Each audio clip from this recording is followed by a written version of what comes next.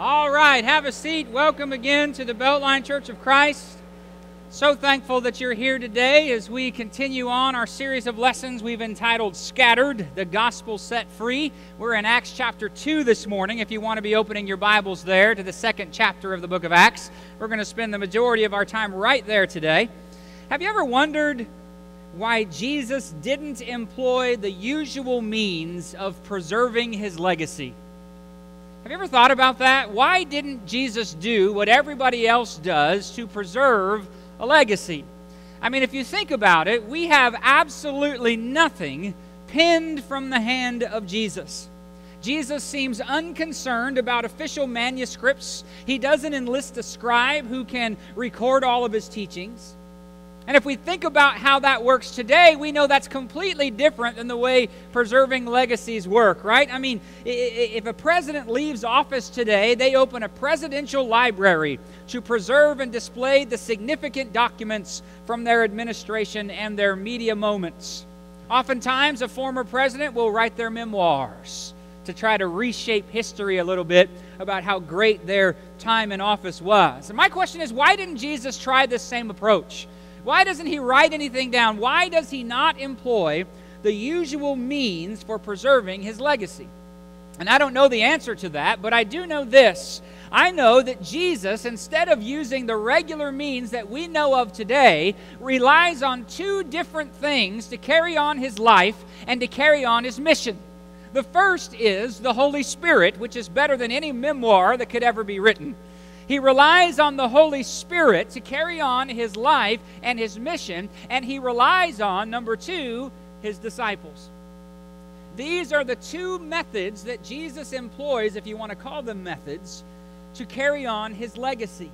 His life was transferred to their life by the Spirit and by his association with and his investment in his followers. You see, the legacy Jesus wanted to leave behind was the transformed lives of ordinary men and ordinary women who could carry on his work after he returned to the Father. This is why he didn't write any books. This is why he didn't do any of those things. He had a much better plan in place that the Holy Spirit and his followers would carry on his work after he left his, this place and returned to the Father. And that leads us to Acts chapter 2. Acts chapter 2, I believe, is one of the most significant and important chapters in the entire 66 books of the Bible. It reveals to us the beginning of the church and it shows us the unbelievable power of God among many other things. I remember when I was in high school, I had a Bible school teacher who challenged me to memorize the whole chapter. And I thought, eh, not that big a deal. What's so important about Acts chapter 2? Oh, that I had known what I know then, now, what, you know what I mean. Oh, how I wish I knew then what I know now. That's what I'm trying to say. listen to this Acts chapter 2, verse 1. When the day of Pentecost arrived, they were all together in one place.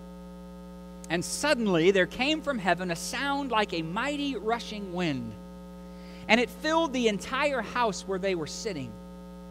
And divided tongues as of fire appeared to them and rested on each one of them, and they were all filled with the Holy Spirit and began to speak in other tongues as the Spirit gave them utterance all through the Old Testament, the Holy Spirit is portrayed time and time again as God's water, God's wind, and God's fire. I don't know if you're familiar with that or not, but that's the metaphors that are used frequently for the Holy Spirit. And here in Acts chapter 2, we're going to see all of these metaphors come to life in this one section of Scripture. We see the mighty rushing wind, we see the tongues of fire dancing on the heads of the apostles, and at the end of chapter 2, we have the waters of baptism washing over 3,000 souls as the Spirit is there in the midst of all of it. But more than that, what I want you to see as we get started this morning, I want you to remember that we serve an amazing God who always, every single time, keeps his promises. We serve a God who always keeps his promises. Remember what he said in chapter 1? If you think back to our lesson a couple weeks ago, he said, I want you to wait in Jerusalem until the coming of the promise. And here in chapter 2, we have the fulfillment of that promise as the Holy Spirit descends on these apostles. God keeps his promises. When he says something, I want you to know you can take it to the bank. It is true, it is trustworthy. He says it, it's a done deal. So, here's what that means. When you and I are told that his yoke is easy and his burden is light, we know that that is a true promise of God, that that is a done deal. When we're told that all authority in heaven and earth resides with Jesus, we know that that is a true statement. When we are told that God shows no favoritism, we can take that to the bank. When we are told that each of us will give an account to God for the things that we've done in the body, we know, excuse me, that there is a great day coming. We're told that where the Spirit of the Lord is, there is freedom. And we can know that that is true and sure as the fact that we are sitting right now in this building. When we are told the Lord knows those who are His, we can rest assured that that too is a true statement. When we are told Jesus is the same yesterday, today, and forever, we don't have to guess or wonder if that's true because it is. Why? Because God keeps His promises. His word is true. When we are told to humble ourselves under the mighty hand of God so that in the proper time we might be exalted, that is exactly what's going to happen. When we're told that the testing of our faith produces patience, rest assured that our trials do have purpose purpose and meaning, and God keeps his promises. And when we are told that he is coming with the clouds and that every eye will see him and every knee will bow, we might as well bow now because God is a promise keeping God and it is going to happen. Praise God, His word is true, His promises are sure, and His love for us is absolutely unending. Charles Spurgeon once said, God wants us to bring his promises to him. Think about that. God wants us to bring our promises to Him. He wants us to believe that what He said is true. And how many times in Scripture do you see that happening? Especially in the Old Testament. You have the patriarchs who come to God and they said, Well, you know, Lord, you actually said, you remember when you said that? I just want to remind you, God, of what you said when you were talking to me earlier. It's as if they, they are saying, God, I want you to remember. And God wants us to call on Him in that way. He wants us to trust in those promises that He's given to us. And why is that so important? I want you to remember that as you go through your week. God keeps His promises. If your week blows up remember that He has promised to never leave you, to never forsake you. He's for you. If something doesn't go the way you want, if the diagnosis isn't exactly what it's supposed to be, I want you to know that God has never, ever, ever left you, nor will He. He keeps His promises. I absolutely love that. And because God's promises are certain, we can take God at His word. And so, if you take nothing else from the lesson but that today, it will have been time well spent. God keeps His promises. Now, think about that in the context of discipleship. What does that mean? God keeps His promises. In the context of discipleship, do you remember Matthew 28, verses 18 through 20? When he says, Go into all the world and baptize them in the name of the Father, Son, and Holy Spirit, teaching them to observe all things I've commanded you. And then he says something at the end. Do you remember what he said? Lo. There is no lo without the go, by the way, but that's another lesson for another time. He says, Lo, I'm with you always, even to the very end of the world, to the end of the age. That's a promise of God.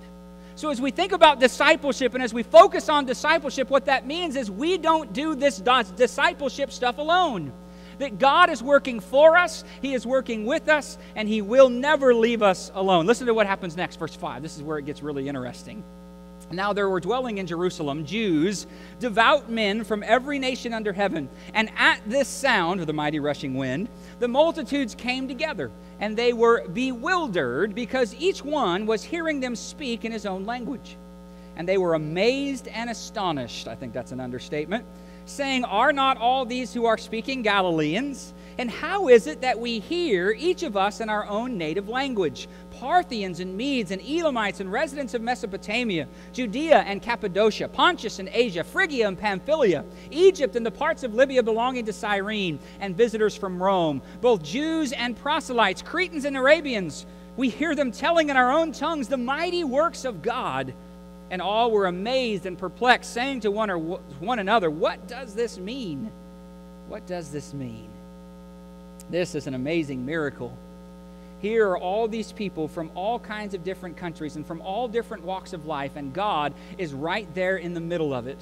His Spirit is making an undeniable impression on every person standing there that day. And I think it's important that we understand that some of the people that were there came from areas like Pontus and Crete and Phrygia. And that's significant because they spoke a very, very, very rare local language, a regional language. And yet, even they are hearing the Word of God proclaimed in their native tongue. Let me try to illustrate this a little bit better. Imagine for a second that I'm on a plane flying to Nepal.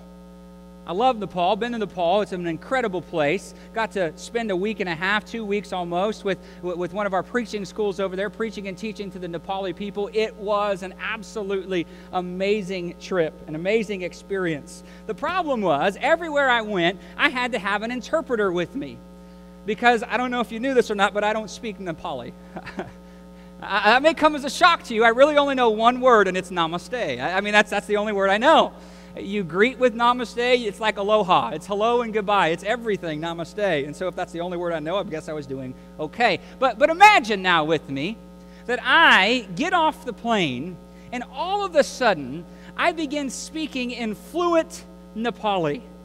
Here is this very white, very American, blonde haired, blue eyed, very good looking guy, if I might say so myself, speaking fluent Nepali.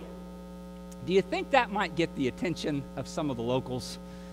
Do you think that someone might say, What in the world is going on here? Well, that's exactly what's happening here in Acts chapter 2. These uneducated Galileans are speaking perfectly in the language of those who are there, and it's making an amazing impact on everyone who's gathered around. But there's something else going on here, and here's what I see what I see here in Acts chapter 2, verses 5 through 11, is a reversal of the Tower of Babel. Do you remember the Tower of Babel from Genesis chapter 11? If you remember, the barriers between people created by language, that was the punishment for their sinfulness that, that, that barrier was drawn because they didn't follow God's word. They didn't do what He said. And so God says, let's confuse their language, and that's exactly what happens. But here, those barriers are overcome. So, what does that mean? It means that the gospel is for everyone, that no one is excluded, and that God has the power to bring every tribe, every nation, every tongue, and every person together in his kingdom. And what is it that these apostles are talking about? Did you catch it? What are they saying as they're speaking in these different languages, these different tongues? They're talking about the mighty works of God. Do you remember why Babel failed? Because it was all about them. Let us build this tower. Let us let's make it all about us. It's all about me, me. I don't want to disperse. I don't want to do what God says. We want to make a name for ourselves. We want to make it all about us, but not here. Here, they don't use this amazing gift to glorify themselves they use it to talk about the mighty works of God. Jesus had said earlier back in Matthew chapter 5 to let their light shine for one very important reason. Do you remember? Let your light so shine before men that they may see your good works and do what? Glorify you? No! Glorify your Father who is in heaven. You see, the reason we do what we do as Christians is not to call attention to ourselves, but to call attention to God. The reason we serve, the reason we give, the reason we disciple, the reason we do whatever it is that we do as Christians is not to say, look at us. It's to say, look at the amazing God I serve. How you doing with that? Oftentimes we want the credit, we want the recognition, we want all that that goes with it. And God said in, in the Sermon on the Mount, if that's what you want, recognition, all that, you have your reward. Good luck, go. Go in peace, be warmed and filled. but that's not what happens here. And as we think about discipleship, I want you to remember this. we are not making disciples who follow us. We don't need any more Steve Smiths in the world. We're making disciples who follow and glorify Jesus. And if we miss that, ah, we've missed it all. But my favorite part of chapter 2 comes in verses 12 and 13. I want you to notice especially verse 13. Listen to what it says. And all were amazed and perplexed, saying to one another, What does this mean? But others, mocking, said, They are filled with two words, underline it, new wine. They're drunk. they are filled with new wine. You don't need to listen to these people. But I think something else is going on here. If you have your Bibles, and I know that you do, go back with me to Matthew chapter 9. Underline those two words. You want to write a little reference out next to it. I, I, I, don't know if you if you hold these words as you can't write or underline, but if you do, I, I encourage you to write Matthew 9, 14 through 17 out in the margin of your Bible right here uh, in Acts chapter 2, verse 13, because there's something going on here that I think we miss if we're not careful. Here's what Jesus says in Matthew chapter 9, verse 14. Then the disciples of John came to him and said, Why do you, we and the Pharisees fast, but your disciples do not fast? And Jesus said to them, Can the wedding guests mourn as long as the bridegroom is with them? The days will come when the bridegroom is taken away from them, and then they will fast. Another lesson for another time. will fast.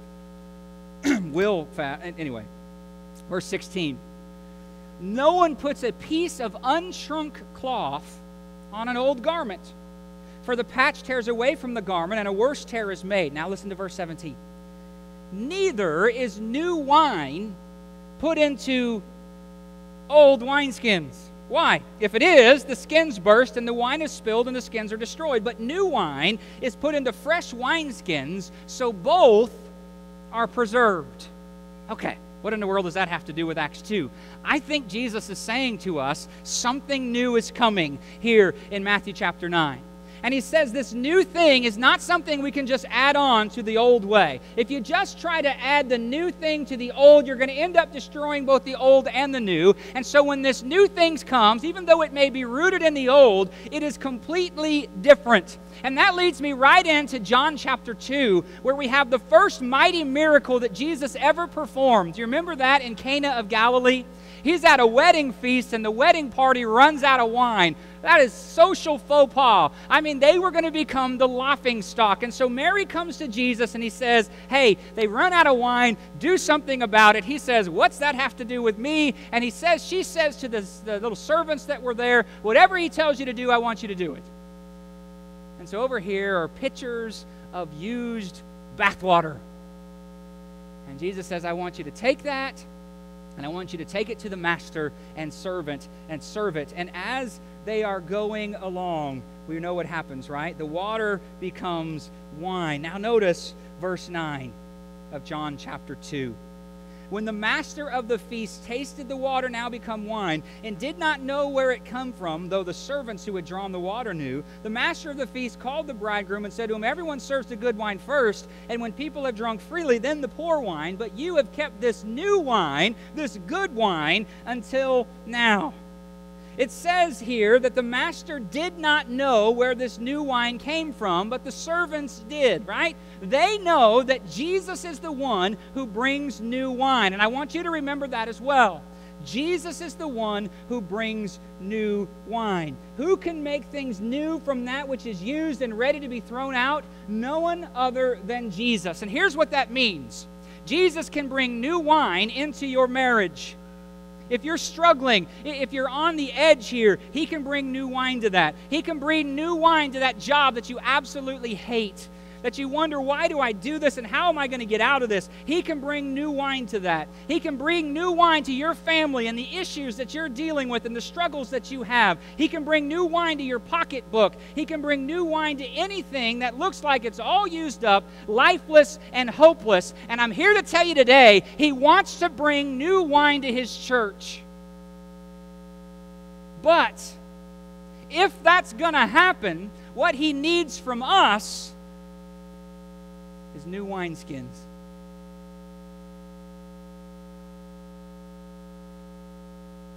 If Jesus brings the new, and you want to keep doing the same old thing the same old way, it's going to destroy the old and ruin the new. And so, what he's saying is, we've got to become the new wineskins for the new wine that Jesus is bringing. That means we got to have a change of heart that results in a change of action. That's what repentance is all about in the first place, so that we can receive this new, amazing, faith building thing that God wants to do among us. Remember what Paul said in 2 Corinthians chapter 5 and verse 17? He says, if anyone is in Christ, he is a new creation. The old has passed away, the new has come. In Jesus, we find a new way of looking at life, a new priority, a new excitement, a new forgiveness, new mercies every morning, a new identity, and most of all, a new destiny. And with that new creation comes the new wineskins and the ability to embrace the new wine that only Jesus brings. And that is why, please hear me in the, in the spirit that this is intended. That is why someone who calls themselves a Christian but is not changed by Jesus Christ is kidding themselves. That's why someone who says, I am a follower of Jesus Christ, but thinks I don't have to commit, I don't have to be all in, I don't really have to be about the Father's business, is deceiving themselves. The new wine cannot be simply an add on to your life. Christianity cannot be an add on to your life. It's not, I'm a mom, I'm a dad, I'm a husband, I'm a wife, I'm an employee, and I'm a follower of Jesus. No! I am a follower of Jesus Christ, and everything else is an add on to my faith. That means everything else is influenced by my faith. And so, what is so amazing to me is what these mockers in Acts chapter 2, if we go back there, what these mockers did not understand is this that what they said to try to discredit the apostles, they're full of new wine, was actually right. No, they weren't drunk, as some of them supposed, as we'll read about next week. They're not drunk, but they are definitely full of the Holy Spirit and the new wine that Jesus has ushered in. They themselves were the new wineskins, ready to hold this new wine and to pour it into all who were willing to receive it. And my question for you this morning is Are you willing to receive it? Are you willing to receive? Jesus wants to bring new wine. And the thing is, it's not new. It's the same wine he's been offering for all eternity. But anytime Jesus offers it, it's new and it's fresh and it's perfect and it's everything it's supposed to be. And that's what Jesus is offering us as the Church of Christ here in Decatur, Alabama today. I will give you new wine, new purpose, new identity, new meaning, new everything. But you, you have got to become the new wineskins. what that probably means is there's some repentance that needs to take place, maybe right now today. Because if you want to receive this new wine, you got to have the right heart to do that. And the beautiful thing about God is He says, I'll give you that too. I'll give you the new heart so that you can receive the new wineskin or the new wine and you can be the new wineskins, but you've got to trust me and stop trusting yourself. So, how about it? Aren't you tired of doing things the same old way and expecting different results? That is the definition of insanity, by the way. Are you tired of your faith being just an add on to your life? Well, then stop it. Just stop it. Stop making your faith an add on and start making it the source of your life. Because again, Jesus doesn't want to be part of your week. He wants to be your week, your month, your year, your life. Let Jesus make you into a new creation and pour out the new wine into your life. So, how about it? What will you do with this? Will you allow Him to change your heart? Will you, will, will you receive the new wine and, and not let it spill out all over the ground and destroy everything, but instead receive it in the way that God wants you to receive it? I hope that you will. And if that means you, like so many have done last week, come and, and you repent and you're baptized and you, and you put on that new, man, do that today. Don't wait another second. If that means there's some things in your life that need to go away so that you can receive this new that God is bringing through Jesus, then do it. Don't spend another second outside of the grace of God. And we want to help you with that. If we can pray for you or if there's anything we can do, we invite you now while we stand and we sing this song for your encouragement.